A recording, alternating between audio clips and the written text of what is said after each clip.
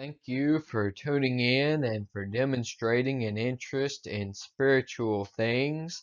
That is always our goal here to talk about the things of God, the things of the Spirit that He has revealed to us, and I'm so glad that that is what you are interested in. Let's begin with a word of prayer. Holy Father, you are so good and so wonderful. Thank you for giving life to us. Thank you for keeping us up until this very moment. Thank you for giving your word to us that we can see your great power and wisdom and know all of the things that you have done to bring your plan to fruition in your Son. Thank you for showing us how we can follow in his footsteps and live lives that are pleasing toward you. We pray that all things be done according to your will. In Jesus' name, amen. What I want to talk about today, I've titled the lesson Better Today. And I think that that title will make sense as we work our way through the lesson why I have called it this. I want to begin by reading from Hebrews 3, beginning in verse 12. I hope that you have a Bible with you, that you'll open up to the passages that we mention, that we can see that this comes from the Word of God. Hebrews 3, beginning in verse 12. Take care, brothers, lest there be in any of you an evil, unbelieving heart, leading you to fall away from the living God. But exhort one another every day as long as it is called today, that none of you may be hardened by the deceitfulness of sin. For we have come to share in Christ, if indeed we hold our original confidence firm to the end. As it is said, Today, if you hear his voice, do not harden your hearts as in the rebellion. What the Hebrew writer does in chapters 3 and 4, after quoting from the scriptures, he takes the time to emphasize several times this word today as he begins to make his, his point out of it in steadfastness in continuing on. And he points out that today we have a decision to make. And that's to say that right now we have a decision to make. I want to work inside of this thought. We're not going to be building precisely on the Hebrews text here, but I want us to think about this today. This that we're not talking about the ability to change our past because we can't. And we're not trying to be better tomorrow because we don't know about tomorrow. We're trying to be better today. And that is the the meat I want us to dig into as you are examining God's Word with me. Getting into that thought, the past is gone. I'm sure there are points in each and every one of our lives that we think back to the past and we wish that we had done something differently. We wish that we, we had done something or that we hadn't done something, that there was something different that had occurred. But none of us are able to go back to that point in time excuse me, and change the things that we have done or change the things that we did not do.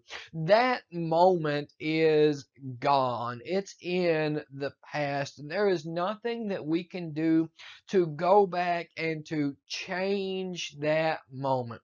Now, it is unfortunate in this point that there are some who look at their past who look at the things that they cannot change and they use this as a reason to not pursue spiritual things. They use this as a reason to not seek out God and to serve Him. And the way that they use this as a reason to not pursue God, to not pursue spiritual things, is when they look at their past that they are so holy that they are entirely ashamed of. You look at the wretched and the miserable things that may have occurred, and a statement like this is made.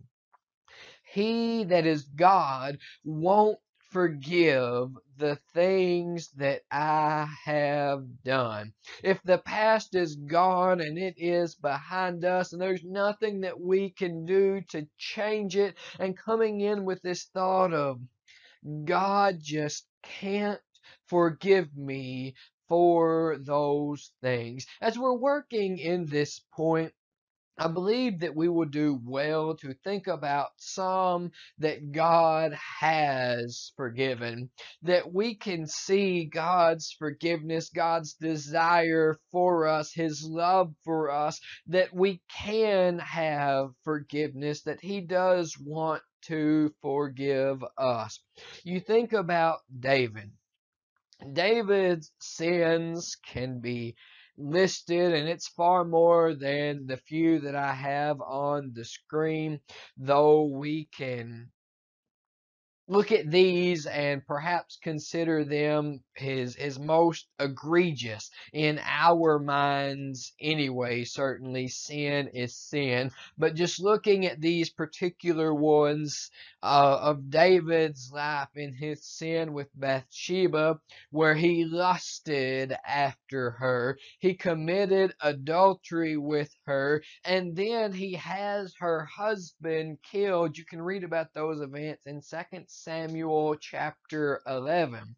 And yet in Acts 13 and verse 22, as the gospel is being preached and David is referenced, he is called a man after God's own heart. He desired to do the will of God. David found God's forgiveness. David was forgiven of his sins because, as you read Psalm 51, he repented of his sins. He turned away from his sins. He wanted those sins cleansed from his life. And as he sought God out in this way, David found forgiveness even after committing adultery, even after murdering Uriah.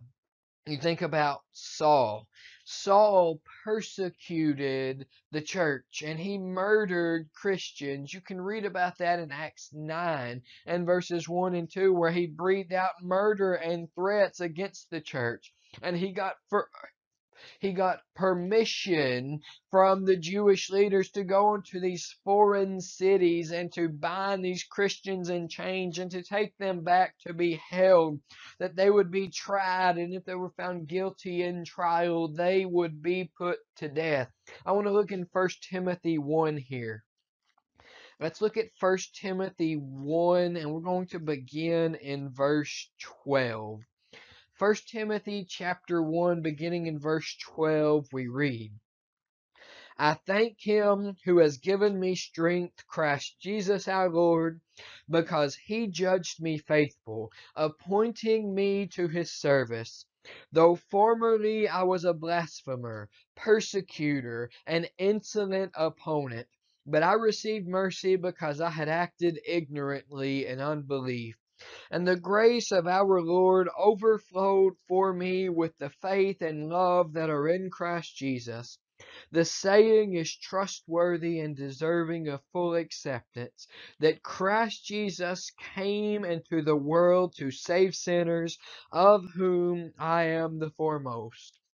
But I received mercy for this reason that in me as the foremost Christ Jesus might display his perfect patience as an example to those who were to believe in him for eternal life. And so he looks at his situation, who he was before, this blasphemer, this persecutor, this opponent of God.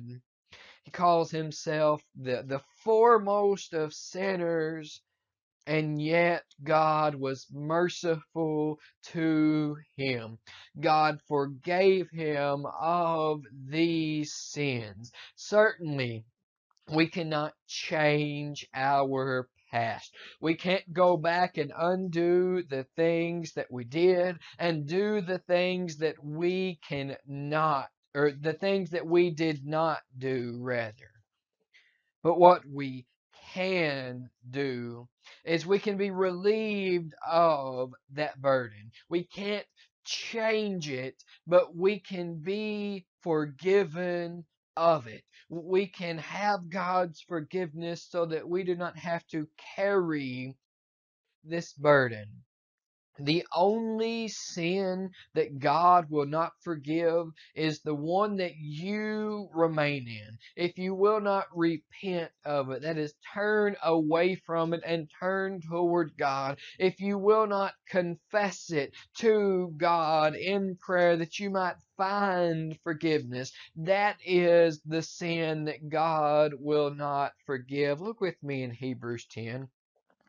Hebrews 10, beginning in verse 26, we read, For if we go on sinning deliberately after receiving the knowledge of the truth, there no longer remains a sacrifice for sins, but a fearful expectation of judgment and a fury of fire that will consume the adversaries. And so here he says that there remains no sacrifice if you go on sinning deliberately. And so how do you change it? Well, you stop sinning. You repent. You turn away from your sin. Turn toward God. Confess that you have sinned. Make that acknowledgement, and there is forgiveness in it in 1 John 1 and verse 9. If we confess our sins, He is faithful and just to forgive us our sins and to cleanse us from all unrighteousness. That's not a select amount of unrighteousness. That's not, I've done something too completely terrible to be forgiven. No, that He will cleanse us from all unrighteousness when we repent, when we turn away from our sins, when we confess our sins. Now, I want to make a point here. I'm going to make it again with scripture, with God's word later in the lesson, but I want us to recognize something right here as I talk about this forgiveness and that repentance and confession being necessary. However, this is not the only thing necessary for the forgiveness of sins. You look in Acts chapter 2 and verse 38, if you have not been baptized, baptism is necessary for the forgiveness of of sins. That is where we leave our old life behind us. That is where that life of sin, those terrible decisions I made, those good things I didn't do, that's where that dies. It's put to death in baptism, and I'm raised up to walk in the newness of life. And then in new life, if sin comes back into my life, once more I can find forgiveness if I will repent and confess that sin. I do not have to carry my past. It is gone and I can't change it, but I can be forgiven of it. As we move into the future, we learn that the future is uncertain. You see, while some let their past keep them from following God, Others let the ever elusive tomorrow hold them back. And by that I mean the phrase you see, why do today what can be done tomorrow? That why do I need to get to that right now? Why do I need to make that a priority in my life right now? I have plenty of time to take care of those things later. I don't need to give my life to God right now because I can do that later. Right now I am young and I need to, to do these things while I have the energy, while I have the vigor to do them. And I will give my life to God tomorrow. I will give my life to God later. There are a couple of problems with tomorrow. One is that we do not know what tomorrow will bring. James makes this point. Let's look in James 4 and look at verses 13 and 14. In James 4 and verse 13, Come now, you who say today or tomorrow we will go into such and such a town and spend a year there and trade and make a profit. Yet you do not know what tomorrow will bring. What is your life? For you are a mist that appears for a little time and then vanishes. We do not know what is going to happen tomorrow.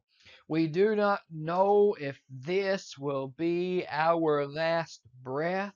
We do not know if we will make it through the night. We don't know if our loved ones will make it through the night. The only one who knows what holds tomorrow is our God. We simply do not know. I think about the parable that Jesus tells in Luke 12. The point of that parable is about covetousness. Tells what we call the parable of the rich fool after having built his, his filled his barns full. He thinks he's going to build another barn and fill it full and he's going to just be set for life. And God says of him in Luke 12 and verse 20, full Tonight, your soul is required of you. He thought tomorrow was coming for him, and it didn't. We do not know what tomorrow will bring. We don't need to put obeying God off to tomorrow because what if tomorrow never comes? And to that, some may say, what if tomorrow does come? Which brings us to a second problem with tomorrow. Even if we don't, quote unquote, run out of tomorrows, there's going to come a time with enough tomorrows that we no longer desire to be obedient to God. We no longer desire to change ourselves so that we can be fitting to God's will. Now, the reason I put run out in quotes like that is because each and every one of us are going to run out of tomorrows at some point in time, whether or not we die at an early age age, we die at an old age. Jesus Christ returns that we might be judged before his throne. We're going to run out of tomorrows. But what I mean is take this thought of running out of tomorrows and we use that to talk about youthfulness. We use that to talk about we, we're young and while I'm in my youth, I need to do what I want to do. I can take care of it tomorrow and then tomorrow and then tomorrow. When we carry tomorrow into our elder years, and that's what I'm talking about not running out of tomorrows. We become aged. And so we haven't actually run out of tomorrows. Tomorrow is still here, but I've put it off for so long now that I do not want to change. See, we, we can never run out of tomorrows. We might say, while I am still in school, after I get out of school, then I will give my life to God.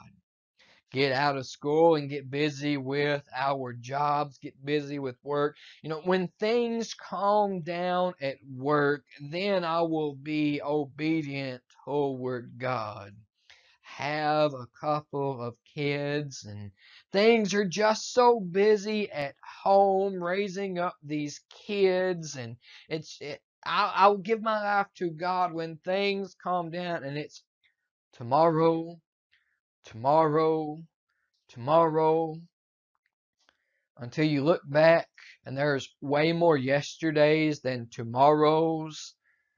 And you find all of a sudden that you don't have any desire at all to give yourself to God. That is why the wise writer in Ecclesiastes chapter 12 and verse 1 says to remember your Creator in the days of your youth.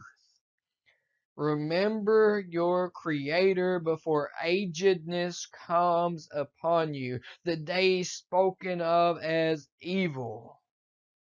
Remember him when you are young because that sets the precedence for the entirety of your life then that your life is about God because if you want to wait until the very end of life to make life about God your heart has been set in the world this entire time, and a heart set in the world, a heart set on the flesh, a heart made hard by sin all of a sudden has no desire to be given over to God.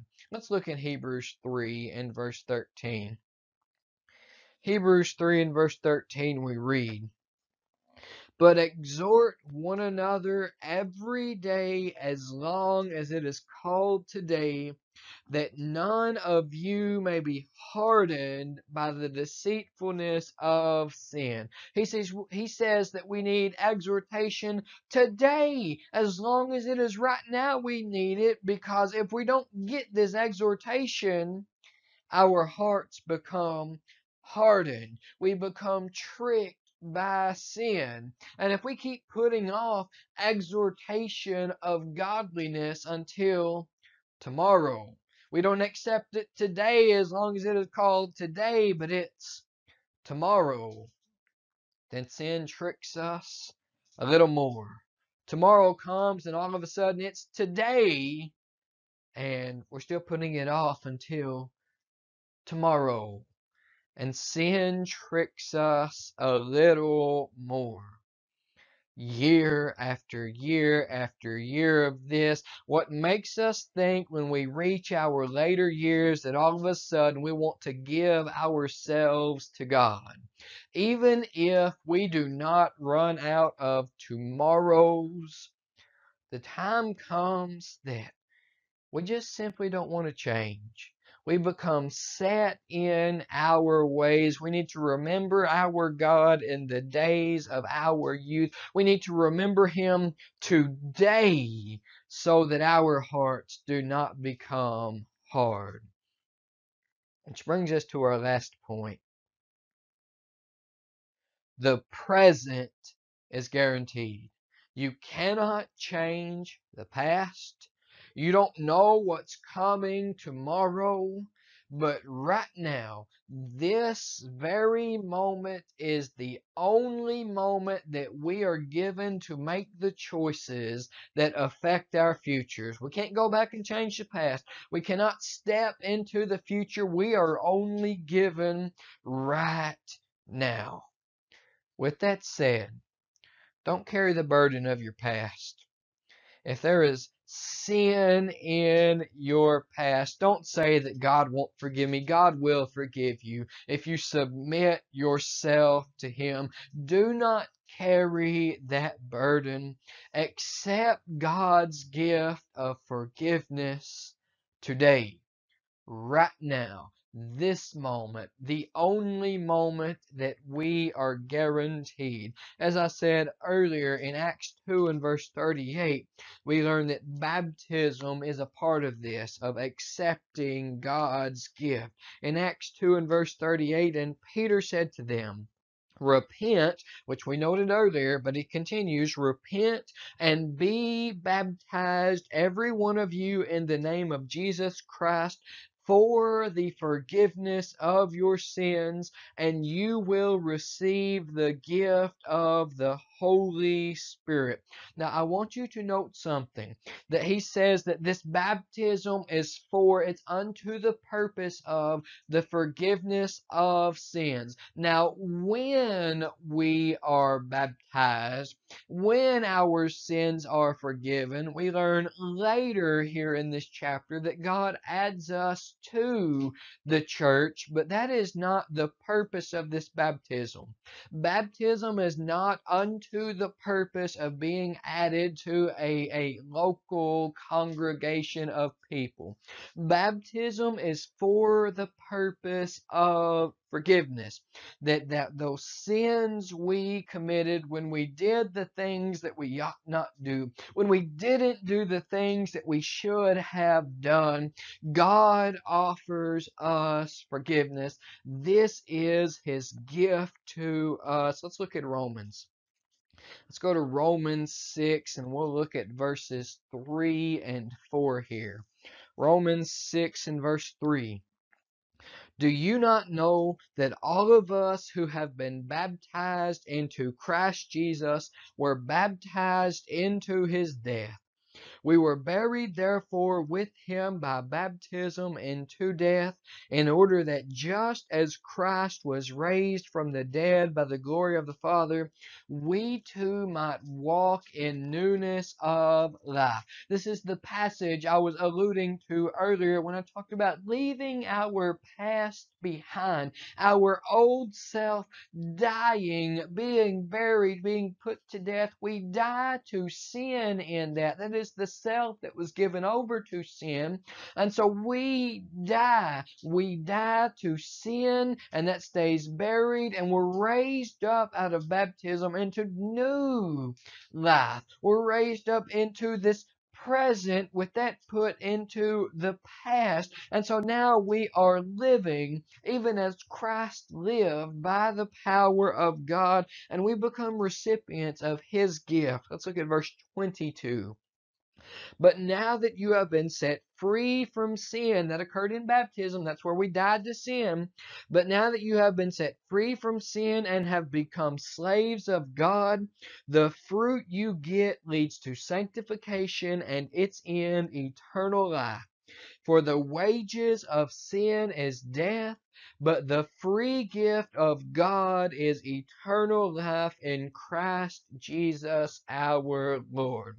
Perhaps you are familiar with what is admittedly a rather corny saying, but the saying that says that the only time we have right now is the present and it is a gift where it's making that play on words of present and gift. Well, that's fitting right here. All we have is the present. All we have is right now. And so accept God's gift, carrying that into being better today. Don't let that end right there. Don't let your future slip into uncertainty.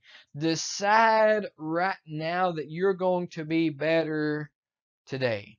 Not better tomorrow. No one has ever woken up tomorrow. Every time I have ever got out of bed, it has always been today.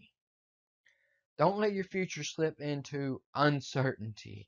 Today decide to be better. Don't let it end in baptism. Grow and become the person that God has called you to be. Let's see that happening once more in our passage in the writing to the Hebrews. In Hebrews chapter 3, that we read at the beginning of the lesson, Hebrews 3, and look at verses 12 through 14 with me again. Hebrews 3 and 12. Take care, brothers, lest there be in any of you an evil, unbelieving heart, leading you to fall away from the living God. But exhort one another every day as long as it is called today, that none of you may be hardened by the deceitfulness of sin. For we have come to share in Christ, if indeed we hold our original confidence firm to the end. So we have to hold it to the end. That does not end in baptism. Baptism is the beginning of our journey in the new life that we constantly, every day, have this exhortation of one another to remain faithful in our God and to become the people that He has has called us to be, to be given to His works, to be given to His way of living. Closing out with Titus chapter 2, beginning in verse 11. For the grace of God has appeared, bringing salvation for all people, training us to renounce ungodliness and worldly passions, and to live self controlled, upright, and godly lives in the present age. And so we want to look less like the world and we want to look more like God, waiting for our blessed hope, the appearing of the glory of our great God and Savior Jesus Christ. And so we're waiting for Jesus to come back from heaven. We're waiting for his appearing, who gave himself for us to redeem us from all lawlessness and to purify for himself a people for his own possession who are zealous for good works. And we learn in 2 Timothy 3 and verses 16 and 17 that it is the scriptures, the word of God that trains us for good works, trains us for righteousness. The present is guaranteed to us, and so we want to use the gift of right now that we can leave our past behind us. Right now, we can be obedient to God. We can be shaped by His hands to be the people that He has called us to be in His scriptures, leaving us with one question Have you accepted God's gift?